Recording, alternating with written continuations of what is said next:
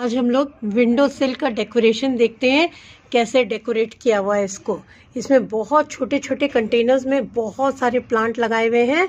ये red leaves हैं, ये कोलियस की हैं, ये आयरसिन है वेरीगेटेड लीफ वाला, ये सिंपल मनी प्लांट है, ये स्पाइडर प्लांट है, ये वाला marble queen pothos spider plant haworthia बहुत छोटे कंटेनर में पर्पल हार्ट स्पाइडर प्लांट है ये टैंगल हार्ट्स है कोलियस कुछ कलर दे रहा है।